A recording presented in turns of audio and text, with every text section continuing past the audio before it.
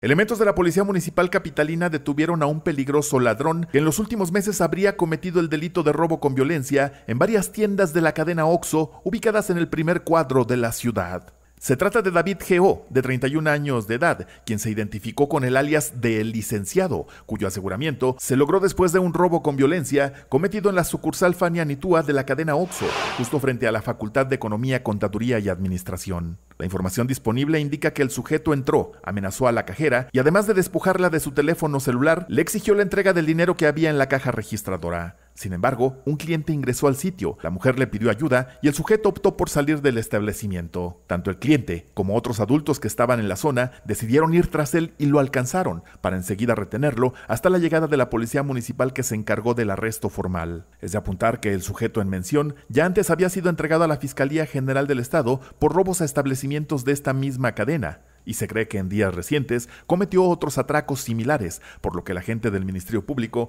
ya investiga todos sus antecedentes. Con imágenes de Brian Hernández, informó para Tiempo y Espacio Luis Lozano.